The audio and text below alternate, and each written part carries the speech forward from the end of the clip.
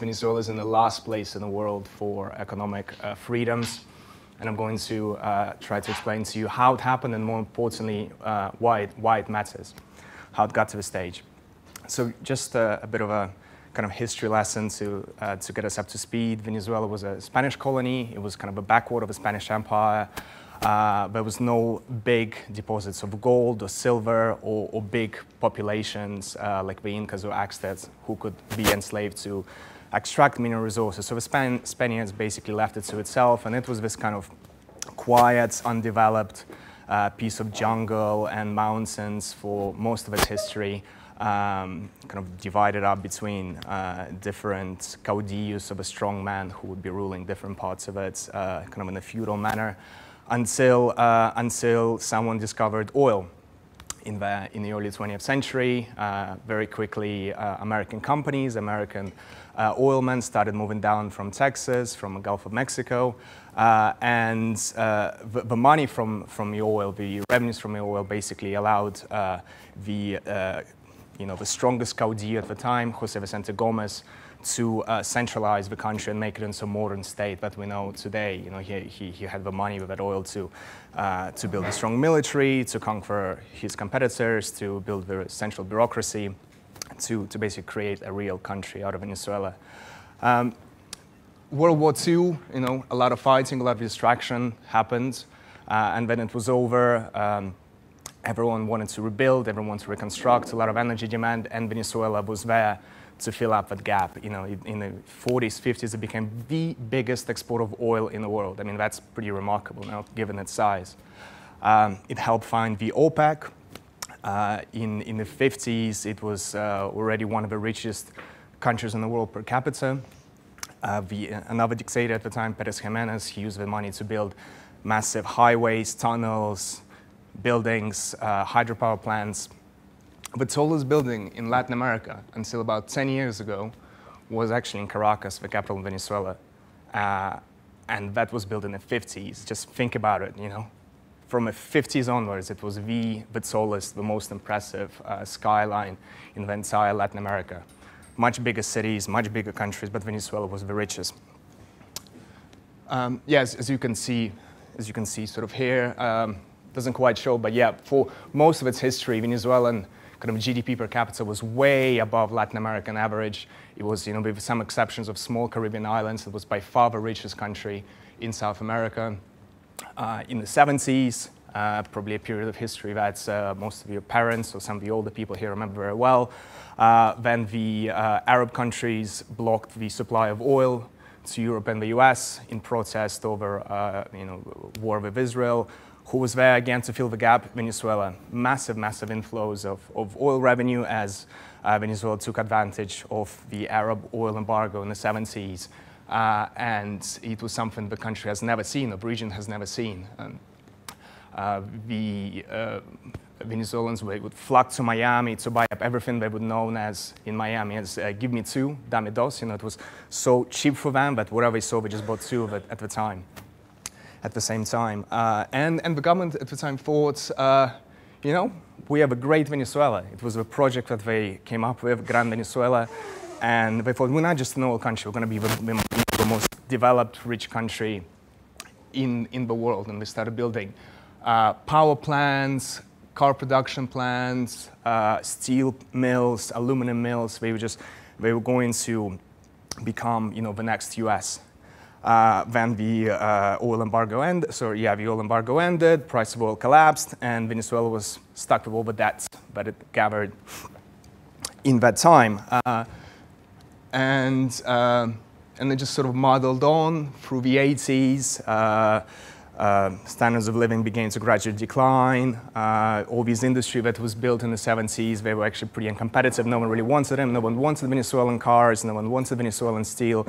Um, and by the 90s, the country was, um, was, was, uh, was a pretty, in a pretty depressed state, quite, quite vary of corruption, uh, at the same time of slow pace of growth, of rising inequality.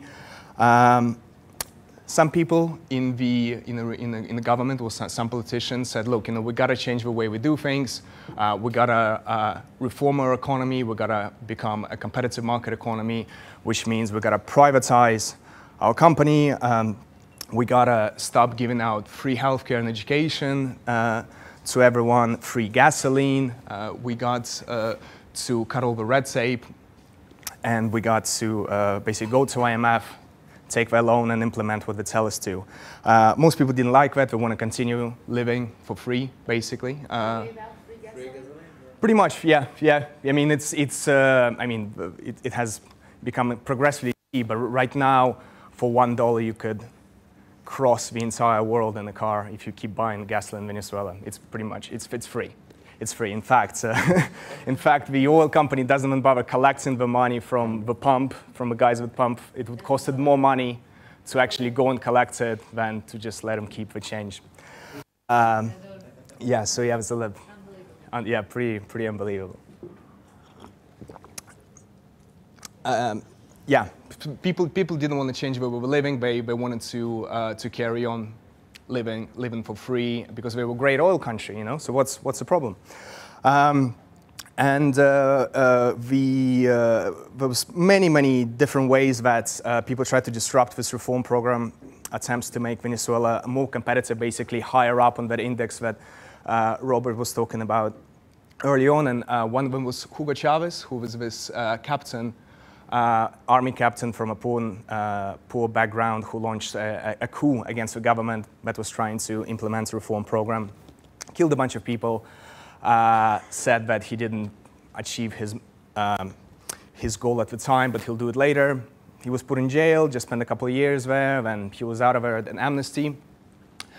Became extremely popular for the way he was confronting the elites. He said, you know, uh, he's going to clean up a house, he's going to make everyone rich again, uh, he is going to destroy the elites. He's going to cut down the corruption. You know, pretty pretty familiar. You know, sounds something similar that we've seen uh, over the last couple of years across the world.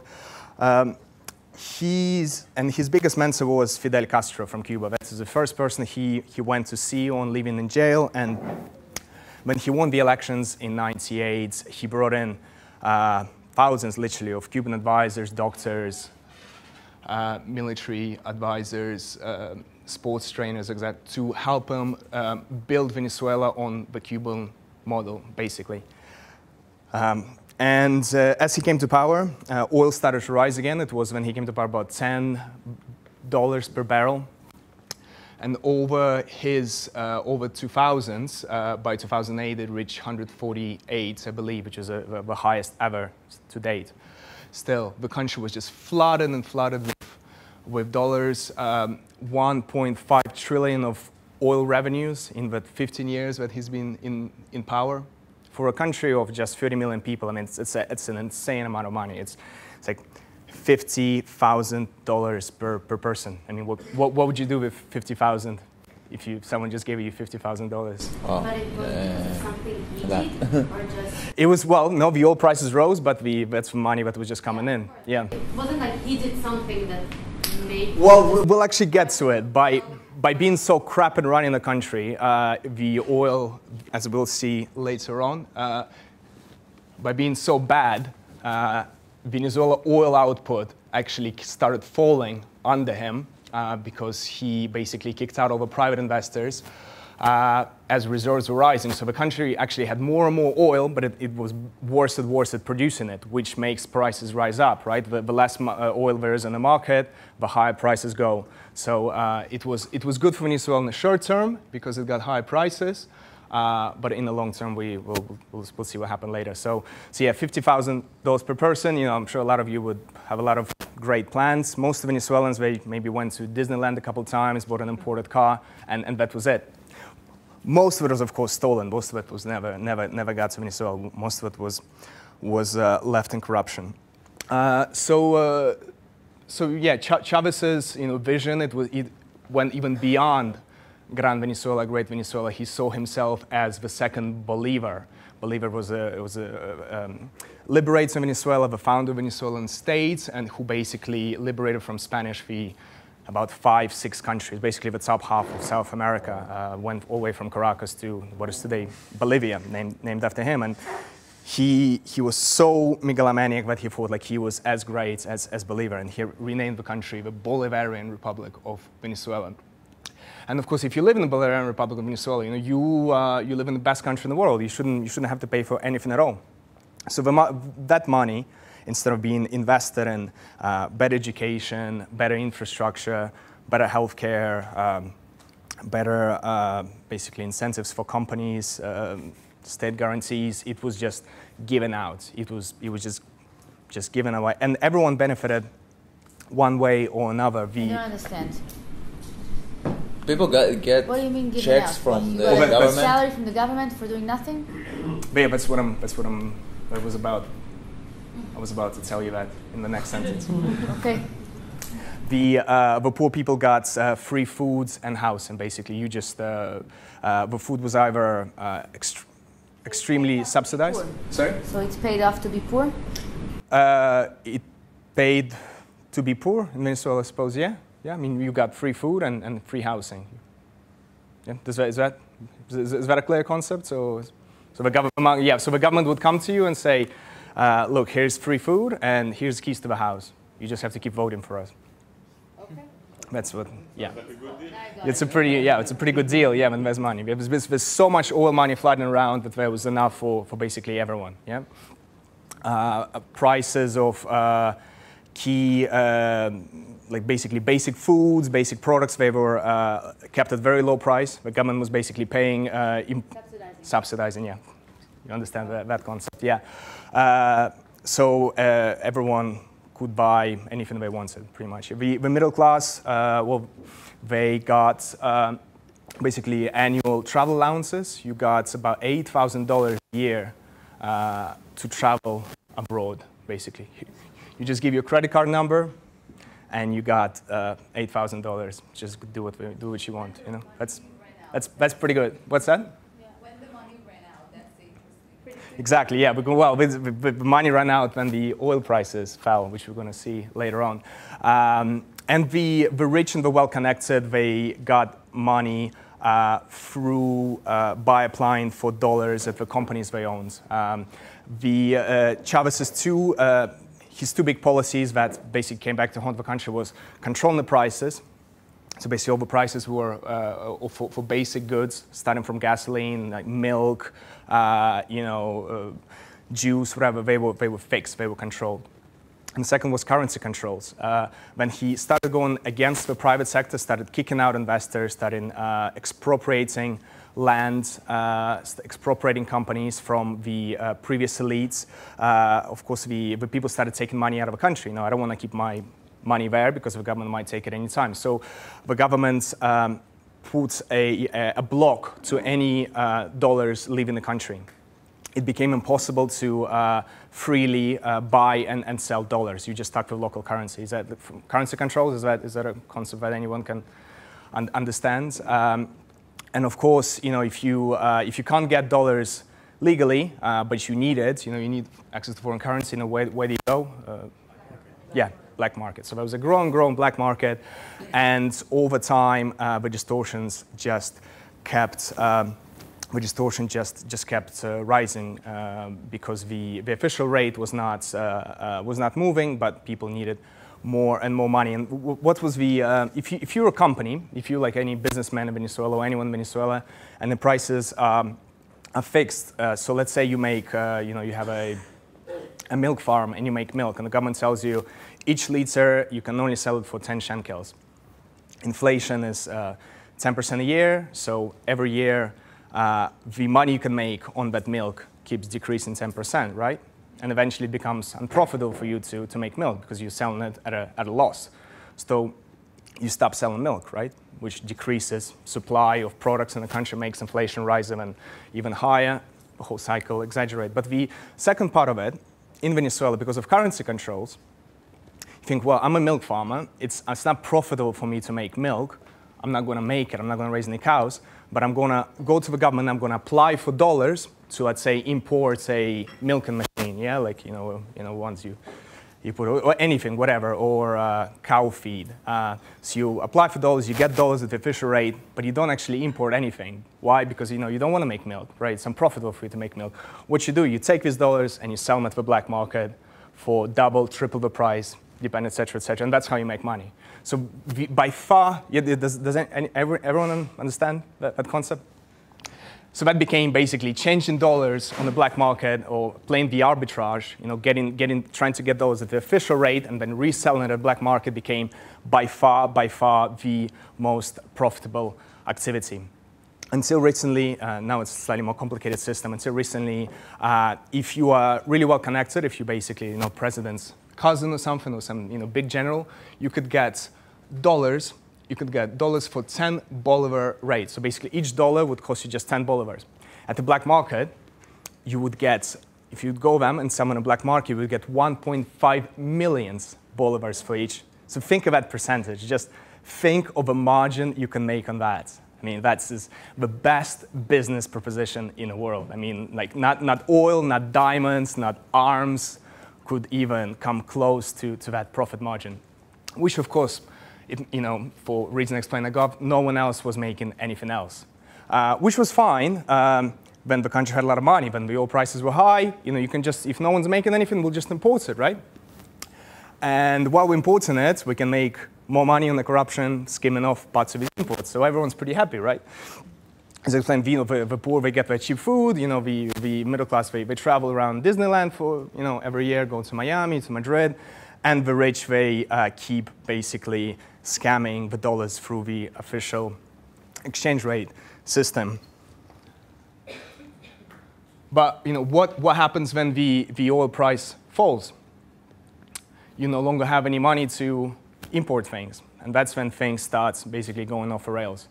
Uh, and uh, Chavez, you know, the, that's that army captain who fought himself a second Bolivar, he um, you know, he, he, he, didn't really care. He just, uh, you know, he liked to dance and sing with people. Everyone loved him. You know, he traveled around the whole world. He was seen as, you know, we called the 21st century socialism. So it was kind of at the time, at the peak of his power, I mean, like in the mid 2000s. You know, a lot of people in the West thought, you know, he kind of cracked it, you know. So Marxism doesn't quite work, but this guy, he, he kind of he, he got it. Like, you know, his way of doing things, that's the way you can make it happen, you know.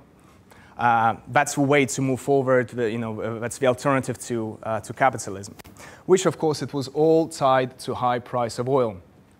Uh, he borrowed uh, massively. He basically mortgaged the country to, to the Chinese, who lended him loads and loads of money. He, he was uh, uh taking out tens of billions of dollars on the uh, international bond market, markets, uh, and then he died, basically. And you know, it's sort of the equivalent of you know going to the restaurant, like you know, the most expensive triple triple star Michelin restaurant, just having a massive meal, just eating everything you can, and then like running away, basically, not paying the bill.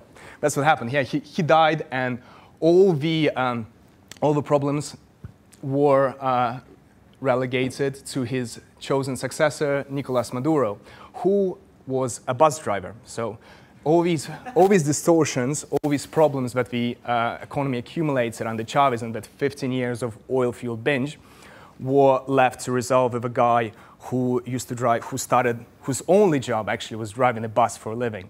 In fact, he didn't do that even very long. He, he was a bus driver for, um, for Caracas's kind of uh, public transport system. But then he thought, I want to get into politics. So he got into a local union and he faked a document saying he's too the bus anymore. So then he kept collecting the money for driving the bus without actually driving anything. So that's, uh, that's the kind of guy. That's the kind of guy he was. And he, once in a while, he still see him on television. You know, he goes around driving buses, and he's really good at it. He's actually, yeah, he's really good at driving. Yeah, because he could drive with one hand and talk to the camera, and he kind of spin the wheel. And, but he's not very good at, you know, running the country, uh, especially with as many problems as Venezuela had. So pretty much the red, sorry, that's, that's the, I'm, I'm sorry, I should have explained it earlier, but the red is the reserves. Uh, reserves of oil, basically uh, the amount of oil that the country had, or the amount of oil the country could potentially extract. Uh, so this is just to, to show you that uh, Venezuela's decline in oil production had nothing to do with its capacity to produce oil. It, it still had a lot of oil. It's not like it just, you know, it's, uh, it, it, was running out of it. It had, it, in fact, it has the biggest oil reserves in the world, more than Saudi Arabia. I mean, like pretty, pretty, pretty tremendous. And it still managed to basically, uh, right now it's producing uh, at the lowest level since the 40s. I mean, that's a pretty remarkable achievement. Um, and uh, yeah, pretty much as soon as Maduro came, Maduro came to power, uh, oil prices collapsed. So they reached in 2000, uh, 2014, you remember they came as low as 40, 50 dollars per barrel. Uh, all of a sudden, the country no longer had any money to, to import all these things. And the whole system, that whole, uh, that whole economic model of uh, free stuff for everyone collapsed. And there was no plan B. All it had was just massive, massive amounts of debts. What year did Chavez die? 2013 to 2015. Um, Maduro came to office late 2013, and then the prices started falling first half 2014. So he, he was elected. He was elected. Um, remember that Chavez was very popular because basically everything was free under him. You know, so he said, "Look, you know, this is my chosen successor." Maduro called himself son of Chavez. The, the entire uh, mechanism, uh, the entire state's apparatus was was under his control. Uh, there was you know, very little opposition left in the country, he, he did win. He did win. And Chavez, Chavez generally was uh, pretty popular. I mean, it's, it's, it's hard not to be popular when you're just basically giving stuff out for free or, you know, to everyone. Uh, you have to be pretty bad at it. Um, so um, oil price started to fall, Venezuela's income started to fall, and uh, even when oil prices began to recover, we can see that, uh, that orange line in 2016, then things began to improve. Venezuela's oil production just kept falling. Basically, all, over all this time of um, basic squeezing Venezuela's cash cow, the oil company, no one was investing anything into it. Uh, there was massive corruption. Everything was taken out of a company, and the country basically can no longer uh, it, it's produce any oil. The, the, the oil industry is destroyed. All the private investors are gone because Chavez kicked them all out. Uh, so when the, the, bad times came, there was no way uh, to increase capacity. In fact, when we can see. Yeah, in fact, that, that decline you see there at the end, uh, this is what happened when, after when Maduro came to power, oil, oil production began to decline. Venezuela lost more uh, in that time, in the last couple of years. In, in fact, in the, in the past year, Venezuela lost more in the past year than Iraq in the year after the US invasion in 2013. I mean, that's uh, 2003, I'm sorry. That's pretty impressive, isn't it? I mean, you know, without a war, without any invasion, without any civil strife, uh, Venezuela managed to basically uh, stop being an oil power just because of mismanagement of, of the economy. Yeah, as I say again, you know, Venezuela, for most of its history, most of the 20th century, the richest country in Latin America, uh, after 2014, you know, falling way, way, you know, below uh, regional average. And this is a region, I'm sure you don't need to be told, with a lot of really, really poor people. And Venezuela now is way, way poorer, even than, excuse me, Bolivia, Peru, countries that uh, until recently were synonymous with, with poverty, really.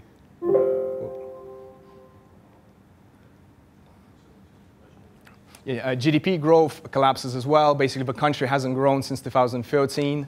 Uh, the biggest, uh, the biggest loss of GDP in five years in, in modern history, uh, more than you know USSR has lost uh, after after its well, more than Russia has lost after the collapse of the USSR, more than Cuba has lost in the early 90s. I mean, again, pretty remarkable. But the economy since 2013, since Chavez died, had contracted by half, has lost half. The economy is now just half the size it was five years ago. I mean, this is the scale of a collapse is really something that we, we haven't seen anywhere in the world for a long, long time.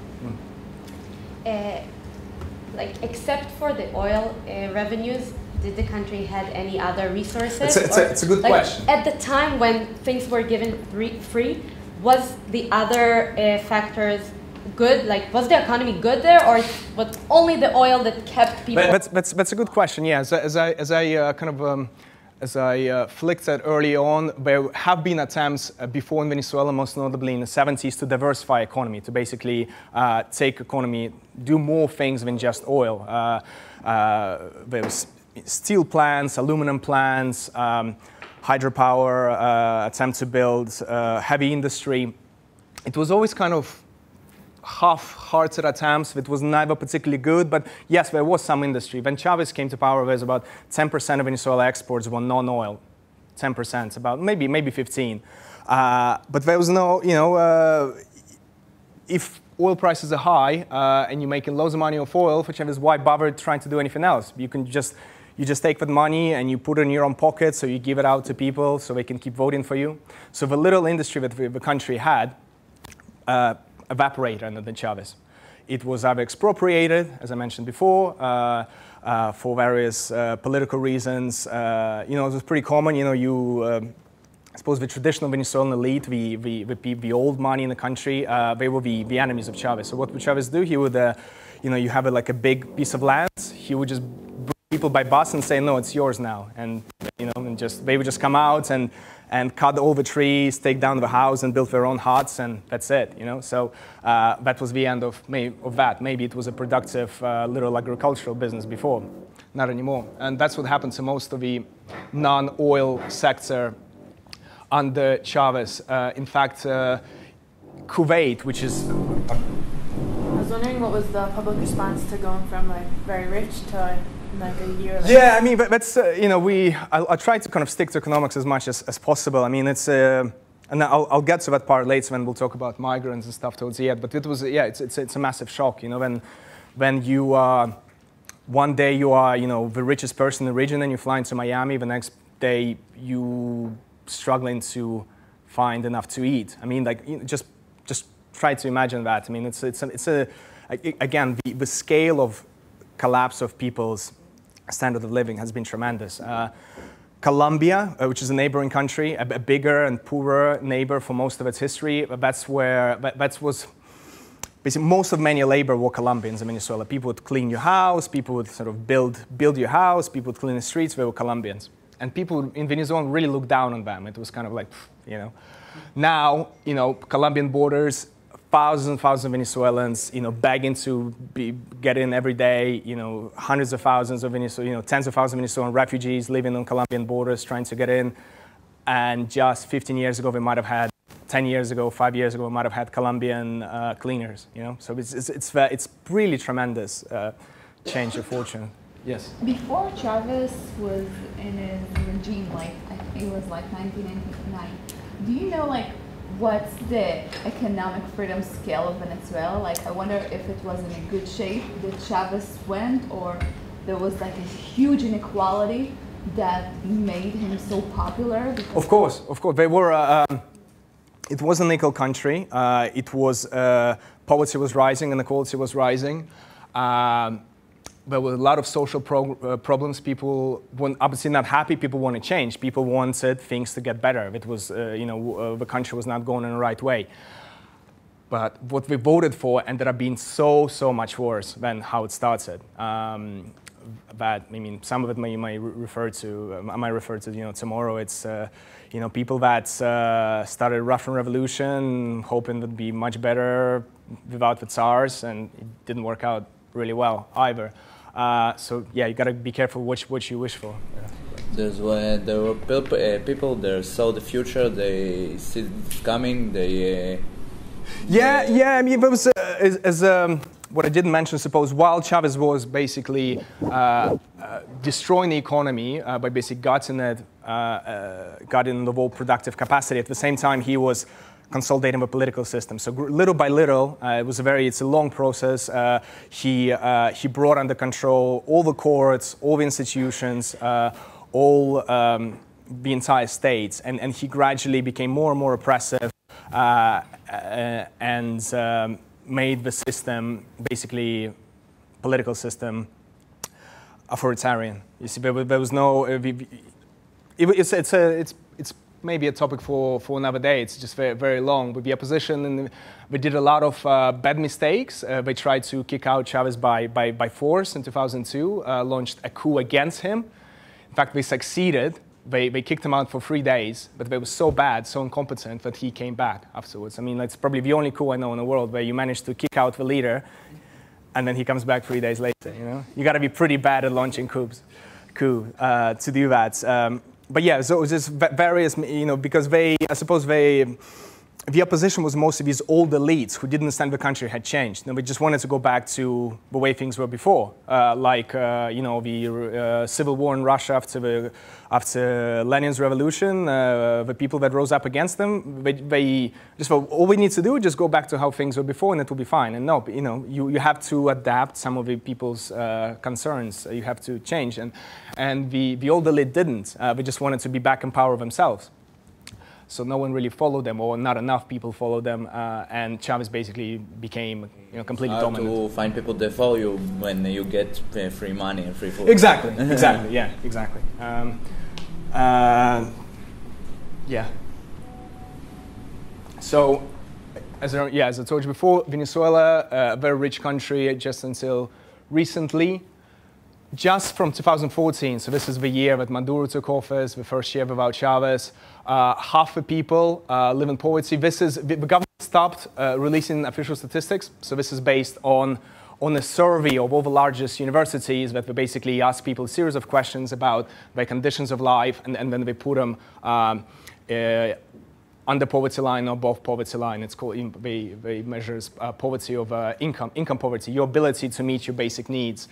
So in 2014, basically half Venezuelans said they couldn't, half Venezuelans couldn't meet their basic needs. Right now it's 87%. I mean, 87% poverty rates in Venezuela just in, just in three years, and it's gotten way, way worse since. Uh, so basically, un- unless you're in the top level of a government, you are struggling to, to make ends meet. Uh, people eventually people did want to start doing again something about it uh, but there was no longer any free stuff to be given out or not enough of it. So people did rise up there were two waves of major major anti-government demonstrations in, in 2014 and last year. Uh, millions of people took to the street for months on end. Some, some cities were completely impassable people building barricades.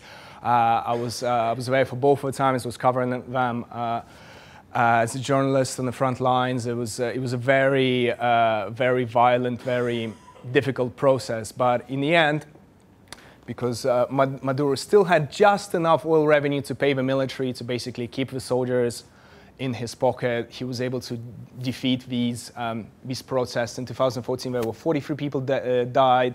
In last year, there were 170 165 dead officially. Of course, there was many, many more. Most of them protesters just being shot by, by police and the armed forces. Uh, it did have consequences for the government, so you know they now under sanctions by most of by most of uh, world's democracies. Uh, no one is doing business with them. They are increasingly isolated uh, in the international arena.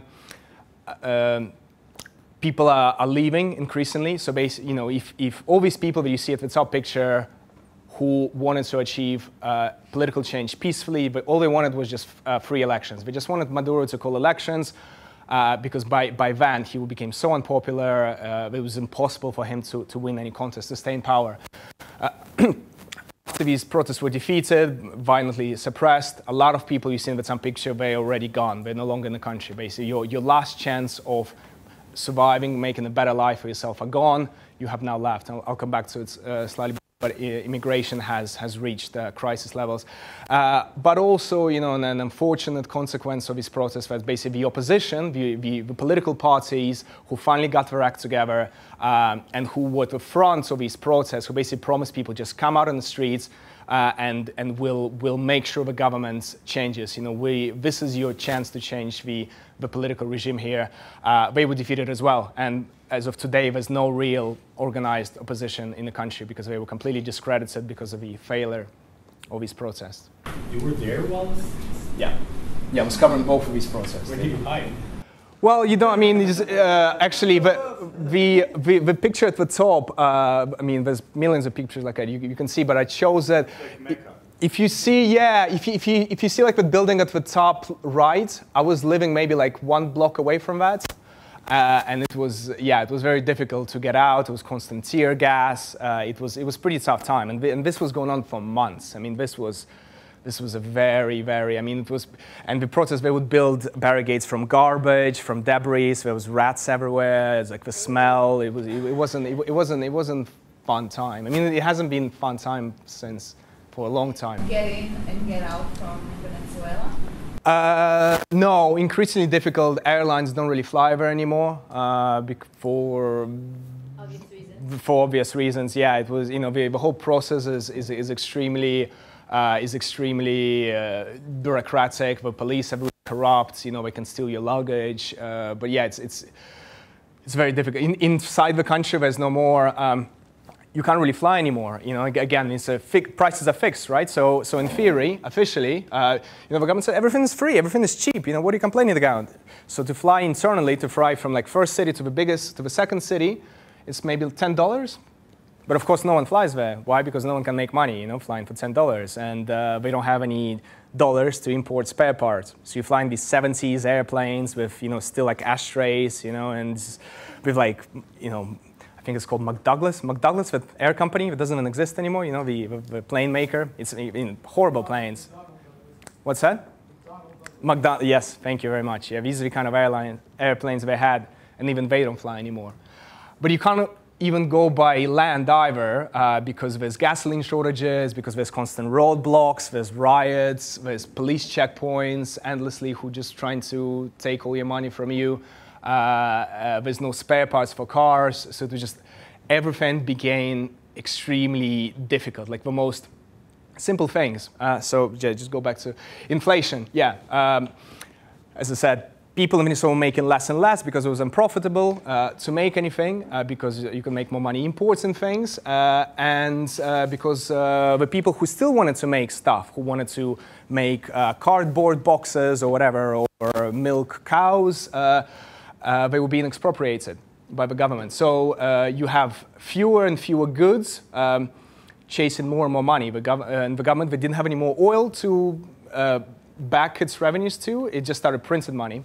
So when I got here, inflation was 21%. Uh, it's, it's kind of annoying. 21% inflation, it means like every, every year you lose like 20% of your savings. So you just spend everything, you know. But it's okay because there were still things to, to buy because it was, oil was high, a lot of imports, right? So, uh, you know, and everything was subsidized. Um like uh, flight tickets. You know, be, before there were a lot of airlines flying there, and uh, you know, you could, I could go home to my hometown in Siberia, business class, return on Air France for five hundred dollars. You know, I would maybe like fly to fly to Europe for a weekend, couple hundred bucks, business class. You know, because it was set. You know, prices were, were fixed, right? So uh, inflation goes up, prices stay the same. Eventually, it becomes peanuts. And then airlines left because they can no longer make any money doing that. Uh, and now you can't go anywhere. So yeah, by now it's uh, inflation is 1.3 million. Um, inflation is so high now; it's it's more expensive for the government to print money than it's worth. So so the, the piece of uh, the piece of paper is more expensive than its nominal worth, and they don't have any money for for that paper. So there's no cash anymore in the country. Uh, which so so the most simple things i mean like living in hyperinflation maybe some of you people who are again older than me have have lived through it before uh, but it's it's just the most it's, it's just the most uh, tiring process the world like everything the most smallest thing becomes an endless odyssey like paying for a cup of coffee like you say when you just want to have a cup of coffee you go to a cafe you have a cup of coffee how do you pay for it you have no cash right because there's you know there's no money to print money um, you have, there's no cash. Um, the, uh, the bank cards um, are not working because uh, banks have no incentives to keep up their uh, payment systems. Uh, and um, because the limits, because the limits are set by the government. So you have credit cards, credit cards where there's not enough limits to just pay for a cup of coffee. That's the, that's your man. Uh, you can do a bank transfer, but there's often uh, power outages or uh, you know the telecom towers go out of uh, go out of service because there's, just, there's no money to maintain uh, you know the power system, so you can't make a bank transfer. So, like.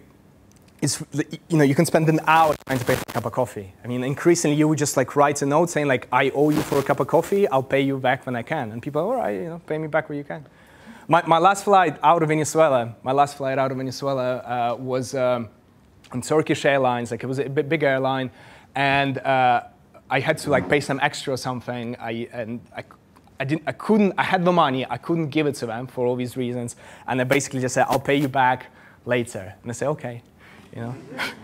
So yeah, yeah, it's, that's kind of one of, one of the uh, one of the unintended consequences of uh, hyperinflation. People had to become much more trusting, but it was just it was a every, you know, and if it's just a cup of coffee, can you imagine the amount of little things you have to do every day? And everything was like that. Everything took hours or days. Your whole day was just basically figuring out how to get to the next day, so just so you can repeat the next process tomorrow. Uh, uh, it's a very banal existence. Very. Um, this is, uh, you know, um, how people's lifestyles have changed in Venezuela. So uh, in 2014. Um, uh, we, we, the basic foods in Venezuela is corn flour. That is kind of that is like that's what you eat every day. You know, uh, you make this little kind of breads called arepas, and that's what everyone eats. Corn flour is, is the is the kind of life lifeblood of Venezuelan uh, of Venezuelan diet. Uh, and by you know 2014, still you know pretty much everyone, almost 100 percent,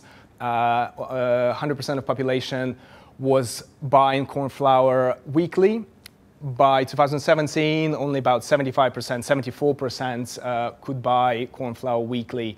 Uh, dairy products down to just 20%. Chicken, which is again like a staple of protein, uh, 34%, which means basically a third of population ate protein last year. I mean, that's it's pretty sad, isn't it? And the third, third, only a third of population had, had access to uh, nutritional, nutritional um, diet. That's again from, from the university survey, which is the, the best indicator of uh, lifestyle in Venezuela today. 90% uh, said family income was not enough for them to buy sufficient food. Basically, 90% didn't have money to, to eat as much as they would like. 63%, that's almost two thirds, said they had to skip meals in the last three months because they didn't have enough money. 20% said they don't eat breakfast anymore. I mean, that's certainly one, one in five Venezuelans no longer eats three times a day. It's, it's really, it's really tragic, really. Uh, 64% said they lost weight in the past year. Uh, obesity, again, you know, more, you know, being poor does make you uh, kind of, you know, skinnier. But, um, but you know, it's, it's, uh, it, it's, it's sadder when you think, you know, it's, you see these people that every day, you know, they just, uh, they used to be maybe fats and just like skin sagging everywhere, you know, it's just like the face is drawn. It's, it's, not, an, it's not a nice look, you know, and, and you, have, you meet people that lost 20, 30 kilograms because, you know, I remember everything was free, everything was, uh, um, everything was subsidized. Now you don't have enough money to just buy basics. You know, you see uh, in Caracas, there's a lot of um, mango trees mangoes just grow everywhere. And before it just was, you know, mango seasons, it would just, you just, you couldn't walk, you know, just mangoes everywhere. Now you see people like fighting on the streets for these mangoes that are falling. Um, I wonder how is their labor market doesn't exist. They become farmers because of the food prices. Like, what are they doing most of the day? But nothing works. They do nothing. Yeah, they just sit, collect. Uh, but yeah, but well, yeah, you you you, um, you can't fire anyone in Venezuela again. Uh, you know, huh?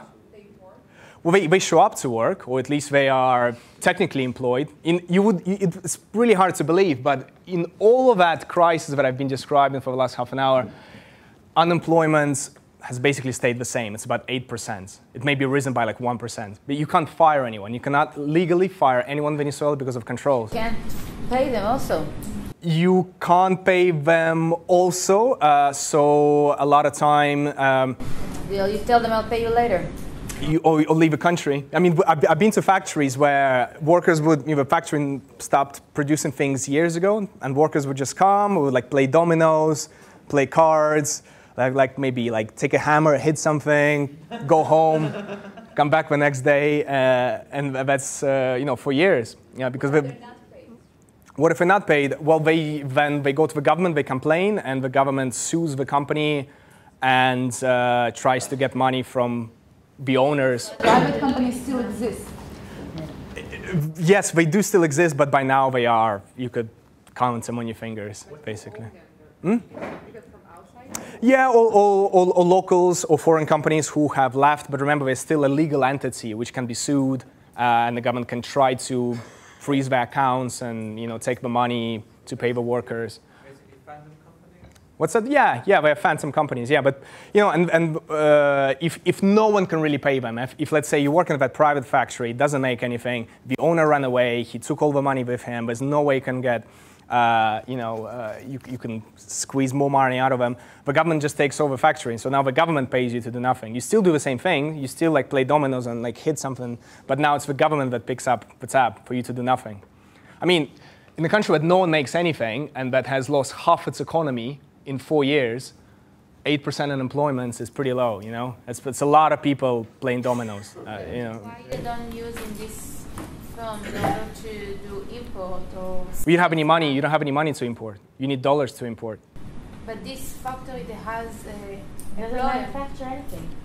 Uh, they can if they have. Well, the- you don't have inputs because every, remember Venezuela never bothered to building a real economy, so you need to import things to make things. Yeah. So let's say to make a cardboard box, you need to import celluloid. Yeah, and you don't have money to import celluloid. But even if you did, and if you, if you could get dollars, and you make that celluloid, uh, the prices are fixed, so you lose money selling it. So why bother making it? You know, you're not gonna make it. I if everything collapses, then just go back to a sheep. Well, that's a subsistence economy. It's basically a lot of people are basically surviving on what they can plant outside their house. Uh, uh, yes, you know, a lot of people are, yeah, or as I said, like fighting for mangoes in the streets. Uh, just, yeah, going back to basically medieval ages. You know, you you make fire with sticks uh, because there's no longer any any gas. Uh, uh, you uh, you eat what you can grow outside your your, your garden. Um, but you walk. There's no longer any public transport really, so you just you just walk. Um, that's yeah, it's uh, it's it it's basically going backwards. Sure. sure. Um, well, maybe uh, you know I can. I don't have much, but I'll just finish with the slides, and you guys can. We just can do you know back and forth, if that's all right. So yeah, just you know, migration crisis. So in 2018, just this year, 1.5 million Venezuelans are expected to leave the country. That's out of a country of 30 million. So, I mean, just, just think of it. I mean, just think of the scale. According to United Nations, again, like not a, not a uh, kind of free markets uh, bastion. According to United, uh, official United Nations statistics, there's more Venezuelan refugees today than Syrian. I mean, that's, that's how bad things are. You know, and that's without war, without invasion, without any epidemic. You managed to create the biggest humanitarian crisis in the world today by scale. I mean, it's, it's, it's an achievement. It really is. Um, most of them, of course, you know, as I said, going to neighboring uh, Colombia, 600,000. Um, it's, imagine just one year, someone like 600,000 new people come to your country. Uh, it's, it's pretty. Well, the, initially they were because initially they were the initial waves were educated people, uh, middle class people who um who could leave while they can, so to speak. And they were, and then they went to Miami to become doctors, or you know Madrid to work as engineers, and they were accepted, you know. And they, as a, you know, they also they tended to. Uh, there's there's definitely a. Um, a uh, kind of social factor there. The, uh, they look like the rest of the elites in other countries. They were white, they went to the same universities, they were educated, they spoke English. Uh, so they were, yeah, they were accepted. By now, the, the, the kind of people that are leaving are people with no skills, with basically no educations, and they're just, just leaving in an, attempt to survive by any means. You know, just, just survival is all they want. They don't want a social status or a good job or, you know. So by now, there's a lot of tensions because uh, you have uh, refugee camps uh, full of people that will, never, will, never be integrated into an economy realistically. Um, so all of a sudden, it's, it's, it's, this is the biggest issue in Latin America right now, South America, uh, better said. Uh, how do you deal with that massive influx of, of uh, Venezuelans in Chile? Uh, you had a speaker about it before. When I first went to Chile in 2005, uh, there was barely like, I mean, there was no black people. Like if you see a black person in the street, you know, you would take a photo. You know, it's just not. Now, uh, you know, is the uh, some of the Haitians, but you know, uh, the amount of it's just it's a cultural shock in the country for them to see all the black people coming from Venezuela uh, in very destitute situations and living on the streets. And it's for a country that's not used to immigration. it's, it's a big shock. But of course, the biggest shock is for Venezuelans themselves.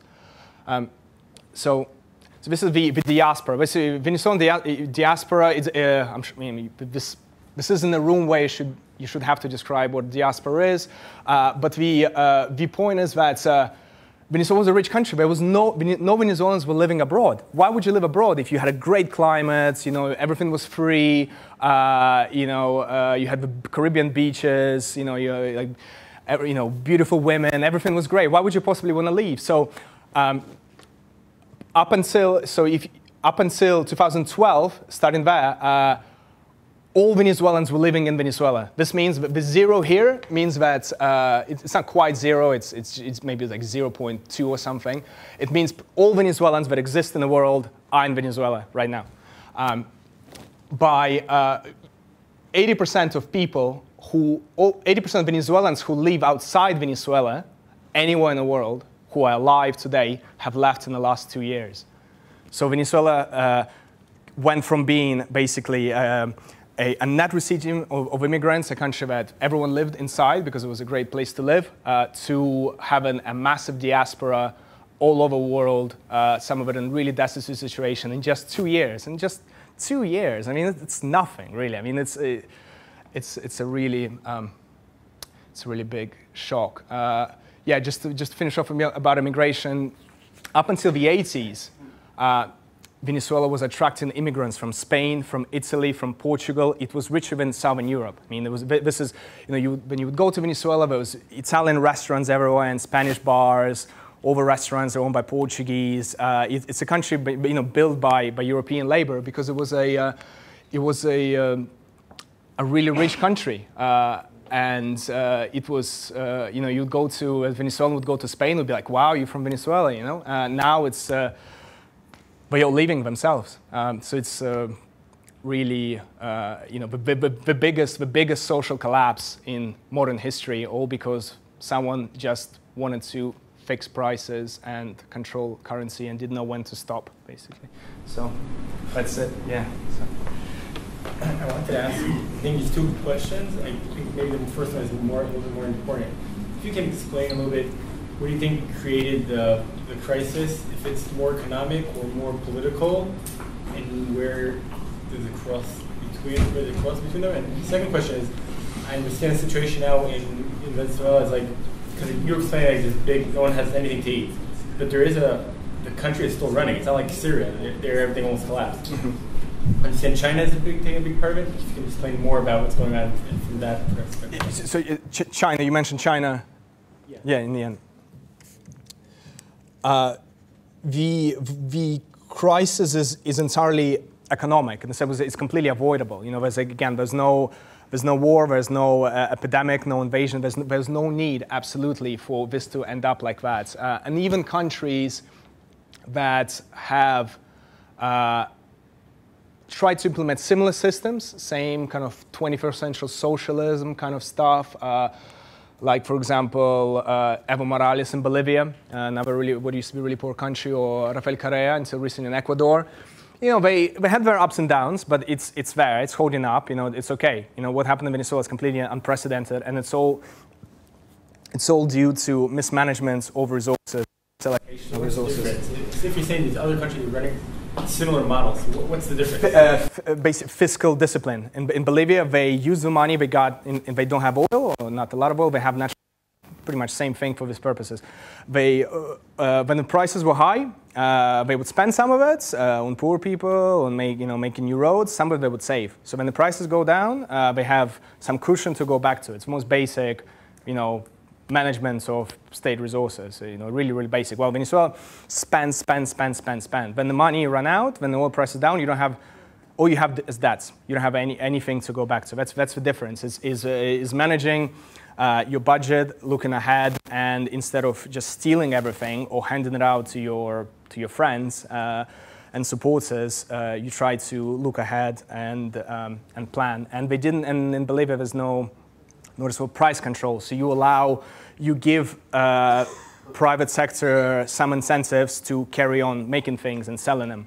there's of course problems. You know, uh, it's, it's not a particularly nice place to do business, but it does exist. You, you, you, can make things and sell things in Bolivia, while in Venezuela, because of currency controls, uh, sorry, uh, price control and inflation, the private sector and expropriations, the private sector has disappeared. That's the difference. Uh, you know, policy. I mean, the the political crisis was caused more by by economics. You know, overall, overall, with some exceptions, majority of were pretty happy to let things run as they do. Uh, Chavez, he won, I don't know how many, like 17 elections or something. Not just him, but his party, etc. Yeah, like 16, 17 elections. He, he, he generally won. You know, he won. Um, when people started voting against them, it was when things already when the economy already collapsed. You know, by that time it was too late because the government was too entrenched and it's not going to leave. It, it's uh, it realized it stole so much money that as soon as it leaves power, they'll all end up in jail. So there's no they stay in there till the end until someone takes them out by force. Uh, China was uh, just, just, to finish. China, China yeah, was the, the, biggest backer, financial backer of uh, of Chavez. Uh, Chinese needed the energy supplies. They invested heavily.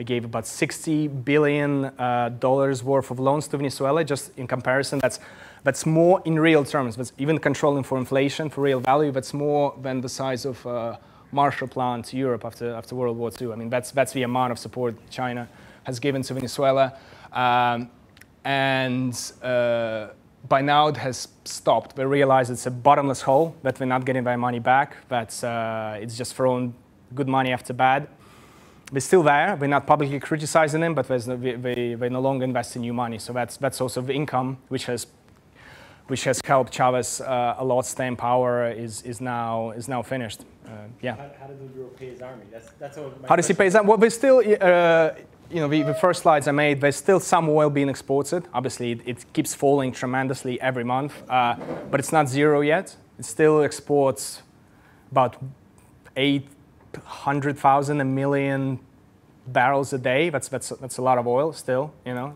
it's still a lot of oil. Uh, and pretty much all of it goes to, to the military. The military now controls everything in the country. But Maduro's, the, way the reason he was able to survive these protests, as I alluded to earlier, is, is keeping military on the side, and that man giving them the entire economy. So basically, the military, you guys run everything in the economy, you continue stealing everything, and like and I do the politics. You know, you don't meddle with politics. I keep running a country, and you have the economy. So the oil company, it's, it's nationalized. So the state oil company, it's run by the generals.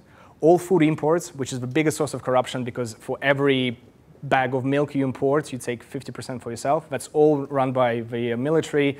Uh, mining, all by the military. Uh, official dollar uh, sort of allocation mechanism by the military. So basically, all uh, ways for you to make money in Venezuela are in, in hands of uh, generals. That's the reason why we still support it. Yeah. I assess that we're not going to see any referendum in the next few years because mm-hmm. okay, and uh, I know that it might uh, seem like I'm looking for obvious answer, but we have two cases. One first case is the government going to stay the same. Mm-hmm. The second case is going to change. Okay. In your opinion, it's, I think it's not going to change. Okay, what's going to be what's going to happen in the next few years? Like I think if this was planet Earth, we're going like we're suicide. Okay? Yeah. So. Well, that's it's, it's a big question. Um, you know, the the opposition, or better said, the opponents of, of the government have tried pretty much everything in the last few years. Uh, they have tried winning elections. They won the election. Uh, they basically got control of the Congress, of the Knesset. What did Maduro do? Uh, he created a parallel Congress, like a second Congress. And I would say, well, this is the real Congress. You guys are not a real Congress. So, you know, uh, yeah, so there's no more Congress. So they tried elections, didn't work. They tried a process, didn't work. They tried international pressure. So they got the US, European Union to impose sanctions of all the top officials, uh, to impose economic sanctions, didn't work. Just, violence. just the, they tried in uh, violence, they tried. They tried exactly. Yeah, they, they tried it. So not, not, nothing, nothing worked. So unfortunately, pretty much everyone in Venezuela no longer believes that there's a peaceful way out of this, that the government is not going anywhere, and the only way it could change is through violence, either external invasion. Trump sometimes talks about it, although by now it's mostly, blah, well, it's all blah blah, but it doesn't seem like we're doing any real preparations. So it's, it's, it's, it's pretty serious. Like it's.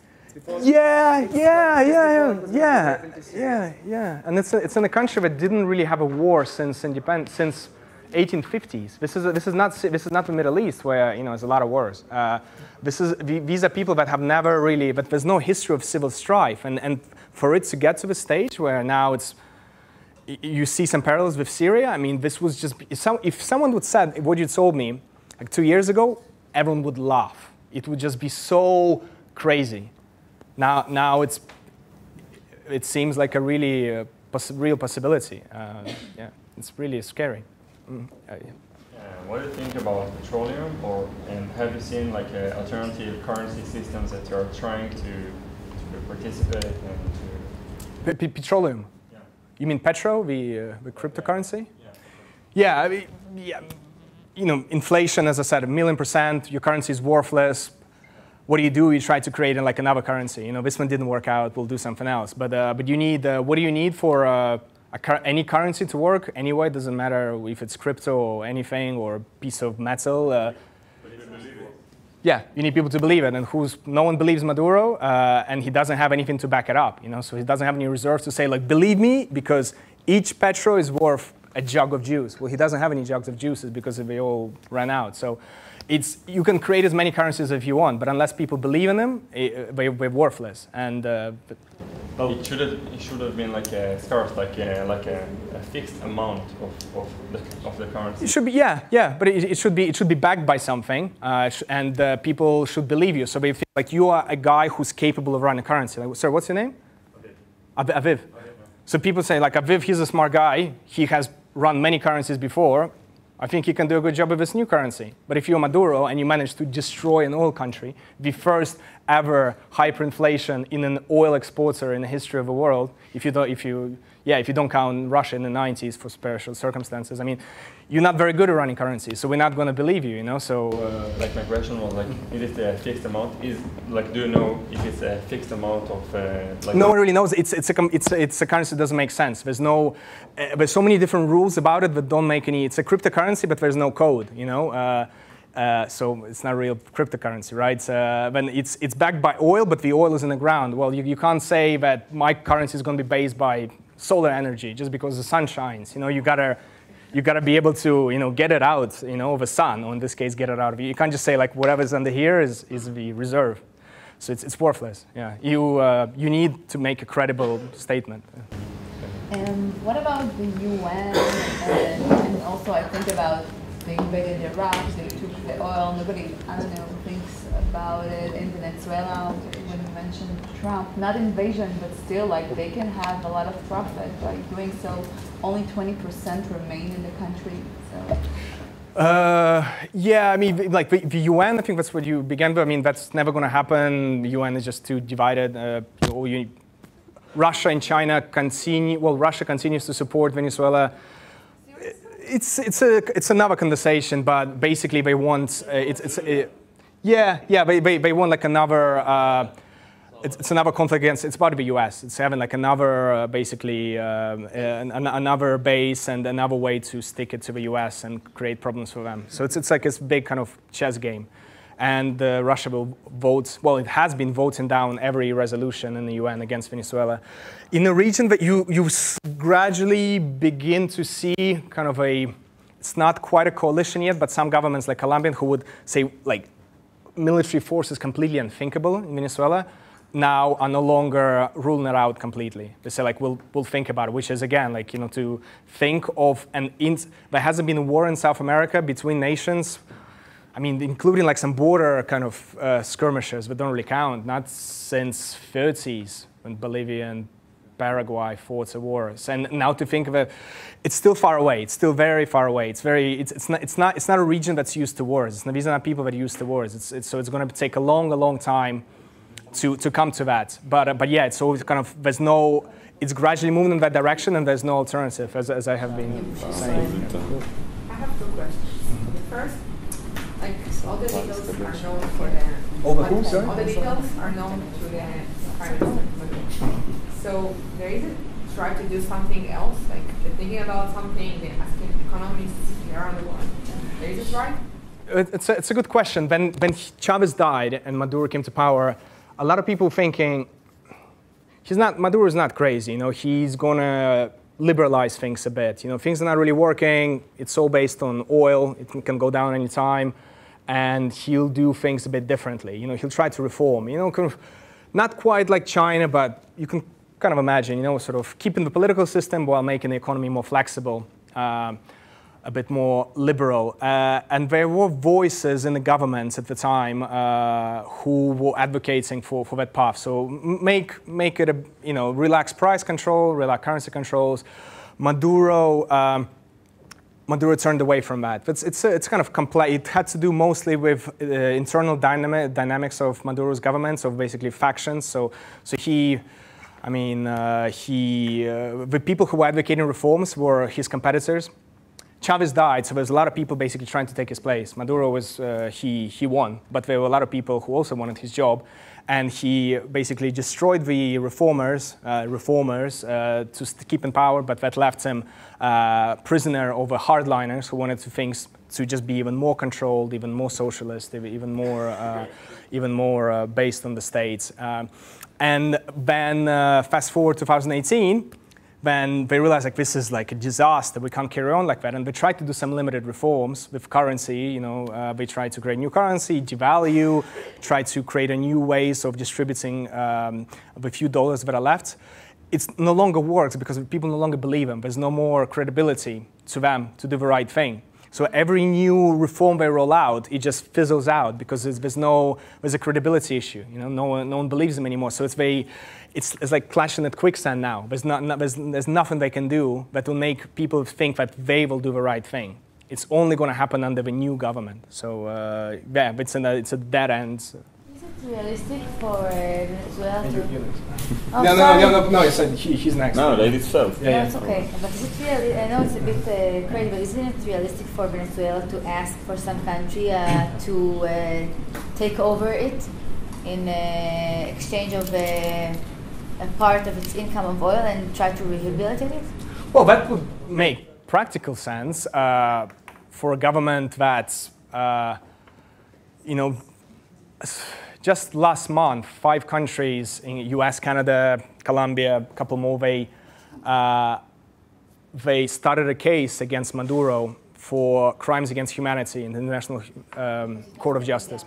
So, uh, you know, if someone else comes in, if a government changes, someone takes over Venezuela, what's going to happen to Maduro and his whole team and all these generals I was talking about? They're all going to, we're going to be in jail for the rest of their life for crime against humanity. So they're not, they're not going anywhere. Uh, there's, uh, there's no exit. There's no credible exit plan for them. And even, um, even if someone comes to them and the next government says, so look, you guys can take your millions, like go to like an island, some island, you know, live out in your mansion, enjoy life. We won't touch you.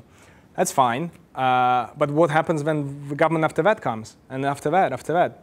You know, like, uh, look, look, at all these people, uh, look at all the allies of Maduro in South America. Uh, Lula of Brazil, who, uh, you know, he had to resign, and the guy right next to him said, we won't touch you, you know, thanks for stepping down, we won't touch you. But then the next guy comes, I know, you're going to jail. And he's now in jail. Cristina Kirchner in Argentina, same thing there's already a, a, criminal case against her. So there's, you know, for dictators to step down, they need to believe that they'll be left alone uh, to enjoy their, their wealth. And there's no credible way you can do it these days. Uh, I mean, you, you, know, in the 70s, when there was a lot of dictatorships pretty much the entire South America, these generals, they might have uh, left peacefully and lived in peace, but uh, now they're all going to jail. They're like 90 and they're being dragged out of their homes in Argentina, in, in Chile, you know, in Brazil. And so, you know, you look at them. If, you, if you're Maduro and you look at these guys being thrown in jail, like, why would I, why would I want to do that? You know? uh, and did, did you know, Maduro try to do any, I don't know, tax uh, change, um, changing the tax policy or any other economic change?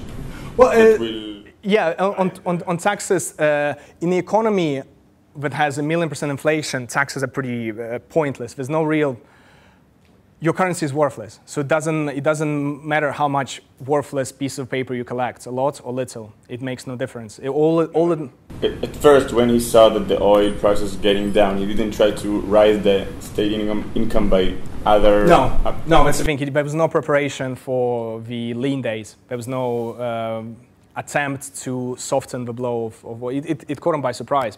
And it was also at the time of pr- first wave of protests, 2014. Uh, so he had other things to worry about too. So, um, by, yeah, by the time they started to do some reforms, as I said, he was already too late. Uh, There's a black market with their currency or something uh, that uh, started in uh, cri- crimes and Yeah, there's a black market of uh, everything. Uh, yeah, pretty much everything is on the, on the black market, like uh, bread, anything from bread to car to plane tickets to dollars. Everything is. How they pay for them in the black market? What the difference? Uh, you pay for them in, in dollars. You pay for. dollar costs like 1.5 million something. Well, if it's be, if you need it, you pay it, or, or you don't buy it. But that's the only way to get it. Uh, yeah, I, I mean, keep in the uh, as uh, as more and more people leave, uh, we begin to send money unofficially uh, to their relatives, remittances. So if you have a Remember, I said in, at the end that uh, Venezuela attracted millions of uh, Europeans before. Well, if you're in Venezuela and you have like an uncle in Madrid, you know, and he sends you like 200 bucks a month, it's not a lot, but it's enough to survive. You know, you can buy You're saying things. if you don't have a post, you don't have a bank, you don't have anything. It, there's a system, yeah. Okay, uh, it, mm, you know, we don't want to get into too much uh, technicalities, basically, but all the black market transactions, they just done through bank accounts, usually in Miami or pa- Panama. So no, no dollars actually enter Venezuela. You just, you send me, uh, you give me something, like you give me like a Coca-Cola, uh, And I will transfer you. and I'll transfer you 30 from cents. 30 cents to your Bank of America, from my Bank of America in Miami. That's, that's how it works, basically. Um, was there ever in history an economical crisis in that scale? I mean, or is it unique because of the amount of money included in the time period? Th- There's, there's a, uh, there is a debate of when was the last time something as bad as this happened. Uh, it's, it's, it's definitely the worst in modern history in Latin America. Uh, some say it's, it's like the biggest collapse in, in, in modern history. Uh, remember, bef- before, before maybe 20th centuries, the statistics are uh, either very poor or non-existent. So it's, it's kind of it's hard to measure when things got as bad as this you know, maybe World War II in, in some countries. I mean, like maybe like a World War II in Serbia or something that like half a population was wiped out. You know, you know, you know um, it's, it's the only thing that comes to mind. I mean, it just and to think, have to think that far back and have to think of such atrocious events is it just shows you that. Uh, yeah, well, it was yeah, but it, it, it had it had hyperinflation. Uh, you're right, but it was only. Venezuela has a whole cocktail of uh, basically of you know collapsing economy, uh, uh, balance of payment crisis, hyperinflation, uh, you know, uh, immigration. Germany just had one, and and even and Germany didn't survive. You know, in, in that uh, in, in that. So, yeah, that's. So, I'm interested in your observation of the media over, over this turbulent period. Like for you personally, you able in a non-intimidated way to get information, or report information? And what about the local media? What was happening with them? Yeah, it's, it's, a very, it's a very tough place to report, like the toughest place I've ever had to report in. Uh, ever- it's extremely corrupt, so no one has any incentives to talk to you. There's no official information. The government stopped publishing any statistics in 2014, so there's no, there's no stats for you. There's, there's, not, there's no way for you to know what's going on beyond just talking to people and trying to form an opinion. Um, it's a very dangerous place to be. What I didn't mention, I suppose, this, this collapse has obviously, I think someone uh, implied to it in one of their questions, that this economic collapse has, has even exa- has exasperated the problem of crime. Venezuela now has the second highest homicide rate in the world, in the world after El Salvador. Uh, it's, uh, if, you, if you are if you live in Venezuela and you live until the age of 72, you have one in cha- 10 chance of being killed in that time. Think about it. Like, what? I mean, yeah, there's, there's crime, crime is a daily part of life. You know, like it's, it's uh, you can get killed for taking your phone out on the streets. Uh, you can get killed for the slightest things. But it's uh, it's not a question of me being reporter. It's just a question of, for me being there. And of course, yeah, we had we had problems with with you know with. Uh, with being mugged on gun, points, uh, with you know protests, of course, very dangerous uh, times. Uh, the military is extremely aggressive, but it's, it, you know, if you live there, that's what you go for every day. I wouldn't say being a reporter made it more or less uh, dangerous uh, as it was for just an average person, but there's no, you have no protection being a journalist. You just, you're just trying to survive like anyone else is. You know, you might have access to dollars, uh, so your lifestyle is gazillions times better than an average person, but as far as dealing with the dangers of everyday life, uh, you, you, you're in the same fix, you know? You just got to sink or swim, really. Yeah. Um, anyone else? Yeah. As a journalist, how does the government government treats you, and how the people that protest against the government treats you? Because they, maybe they want you to treat yeah, you yeah, it's, that uh, you will tell about what's happening in Venezuela, the whole war. Yeah, yeah, it's it's a it's it's it's a funny it's a funny question actually. I'm, I'm glad you brought it up. You know, and um, uh, anyone here speaks Russian? I know Daniel does. Uh, is, you know, we have, we have a phrase that in Russian kind of translates. Uh, uh, uh, one of us among strangers, and the stranger among your own. Uh, so it, it basically, in, you know, for the government, the supporters of the government, you are part of Western media, imperialist, you know, Yankee, uh, sort of lackey, uh, spy, uh, you know, saboteur. Uh, but when you go to, you know, protesters on the streets, anti-government protests, and, you know, they, there's always paranoia. Everyone's like, you know, always like looking for like, you know, defectors or government spies, and they grab your badge and they see like you're from Russia, which is a ally, ally of a government, and like you are Putin spy, you know, you are. Uh, so uh, yeah, yeah, it's um, it's the uh, it's uh, you know no one really likes you, and um, like in the in American embassy. Uh, they think you are a Russian spy, and in the Russian embassy, they think you're uh, an American spy. exactly. Well, you know, you can't, you can't, you can't please everyone. Um, but yeah, the, the government was very hostile to all press because um, because uh, we basically stole millions of dollars and destroyed the country. You know, so there's uh, there's absolutely zero incentive for them to talk to you. All the people in the in the early Maduro days, I think you asked the, the same questions. The, the reformer wing, the people that tried to make things better, you could approach them and you know you could have interviews with ministers. Uh, uh, you know, Maduro would hold press conference sometimes. He wouldn't answer questions, real, but um, um, you know, he would uh, he would, um, so, you know, they would call like an uh, international press conference, you know, international press, you know, interview Maduro at the presidential palace, and you would like sit in that presidential palace for like whole days in air conditioning, shivering, no toilet paper, no water, no nothing. And then he comes, and they say, okay, so five questions, and they we're going to pick them from the uh, from a raffle, and it's like, oh, Prensa Latina from Cuba, oh, all right. Russia Today from Kremlin, you know, so it's like all the international press is not real international press, right? It's just his buddies from, so uh, maybe you would have like one real question between, I'm on real press, so there's no, um, there's no real way for you to, but, but that's, you know, you, um, it, it, it, was hard to make sources uh, in the military or in the business or in the government because uh, things were getting done so fast that you know, you might spend like a year trying to gain trust of someone, and the next day he might be killed, or he might be thrown in jail, or he might be forced to leave a country.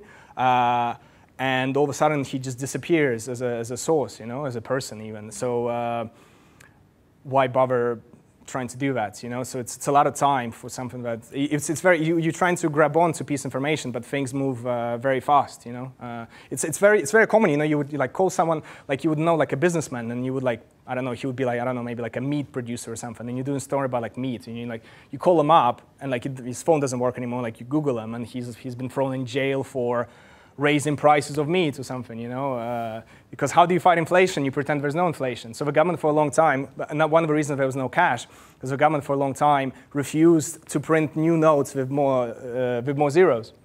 So like, what, what, inflation? There's no inflation, you know, 100, 100 bolivars, it's still the biggest uh, bill.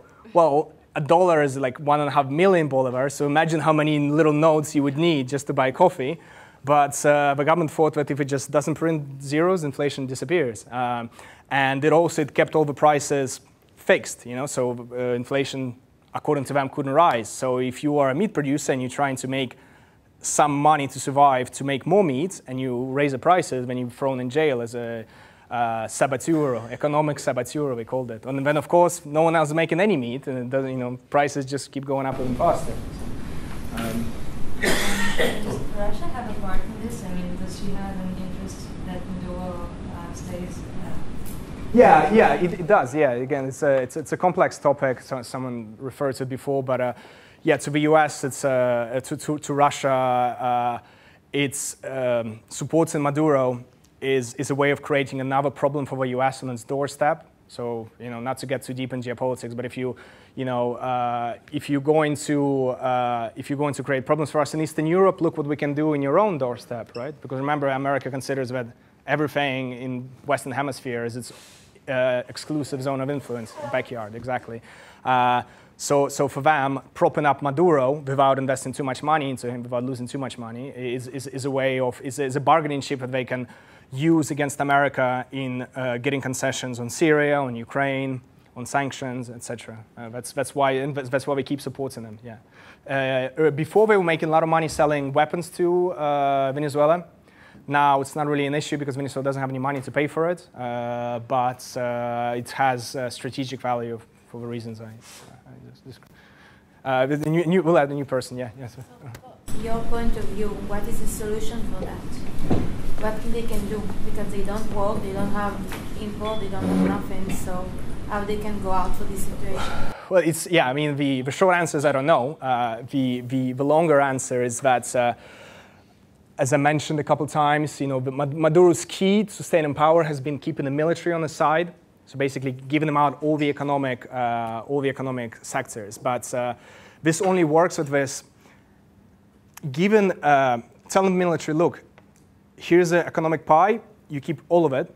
That only works if there's any pie to divide. When the pie is all eaten and it's shrank to zero, you no longer have any money to give From the beginning, this pie is very small. it's very small, but it's, it's something, and it's better than nothing, right? If you're a general, in jail or a bit of pie, you know, you choose a bit of, you choose a small pie. But it's basically, that's basically, you know, what the, the choice now.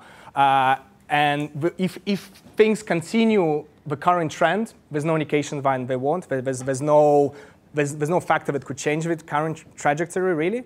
Uh, then Venezuela's um, Venezuela's uh, um, people making a how do you say well, they tried. They've been killed. So now people have people that are ready to fight have left the country. But no, what's going to happen by June next year, if the current trend continues, is basically uh, Venezuela's oil. Uh, broadly speaking, it's a bit more complex than that. But for simplicity's sake, it's Venezuela's uh, oil export revenue will will get close to zero. So basically, it's, it's gonna it, it's uh, it's its costs, it's kind of like running cost of a government, just paying for like electricity bill at the palace, you know, buying some food, etc., will be less than the money that it earns from oil. So it's, it's to basically the pie is going to disappear. You're no longer going to have any spare income after paying the most basic, basic, basic things to, to pay the military. But at this phase, a, a theory it says that generals are going to say enough.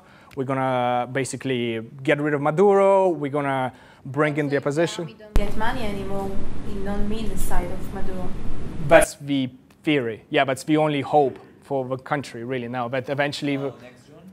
By next, by, but that's how. Uh, yeah, I wouldn't set my. I wouldn't set your watch according to it. But that's uh, if the current trend continues by, by June, uh, the, the country will run out of money completely, completely. Even even the, the few uh, things that it has. Yeah, one last question. Uh, someone yeah. Okay. Well, you you you too. Yeah. Quick. We'll just do. A personal question because you started as an oil and gas analyst and then you become a journalist mm-hmm. and then Venezuela. So my question is, why why Venezuela?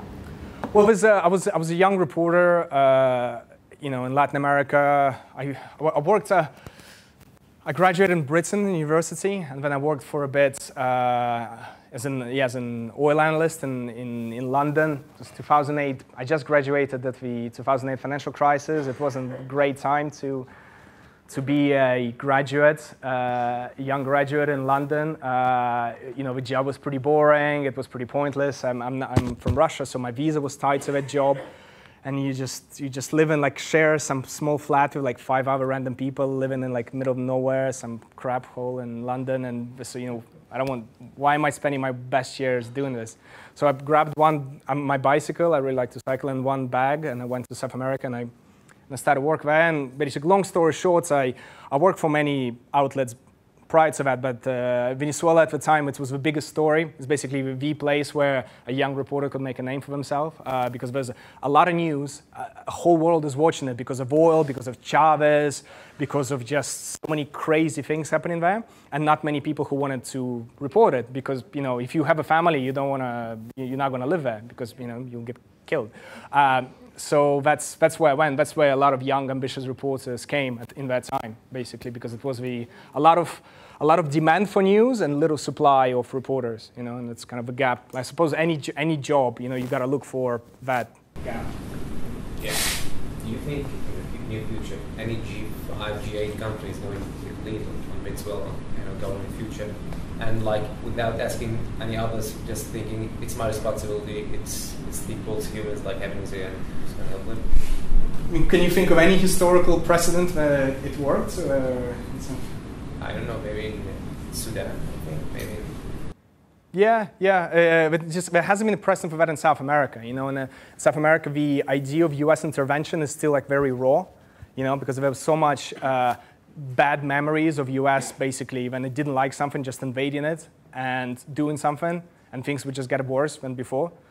I mean, you know, Guatemala, Honduras, uh, Cuba, Nicaragua, you know, just list goes on and on. So it's for, uh, for South American politicians to accept that it, it's, it's actually the best choice to invade a country and try to sort it out, try to make it better, it's, it's um, psychologically really difficult. So it's, it's, it's hard to see it happening anytime soon, but as I think we talked with you, and particularly before, this is the direction in which it's moving. Some countries, they, they, they don't support it yet, but they no longer are completely ruling it out.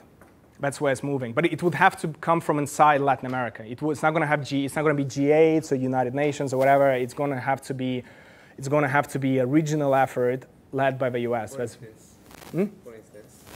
For instance, well, you know, Brazil, Colombia, Argentina, you know, supported by the U.S., something like that, some, some sort of international coalition. But uh, it, coalitions of the willing don't always work out very well, as we've seen in well multiple cases. Most recently, maybe you know, Iraq. Or so it's. Uh, it's, it, it looks like a situation without solution, really, for, for the short time being, and that's what makes it so, so difficult. Yeah. yeah. Well, thanks very much for, for your time. Yeah.